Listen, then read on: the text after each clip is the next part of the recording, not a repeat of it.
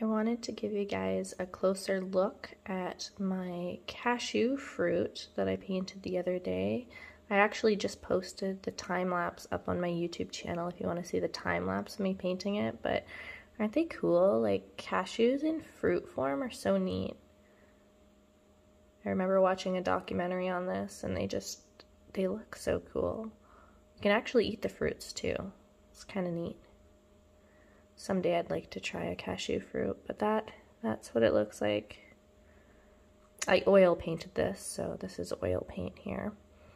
But yeah, that is a little bit of a closer look at my oil painting of this cashew fruit.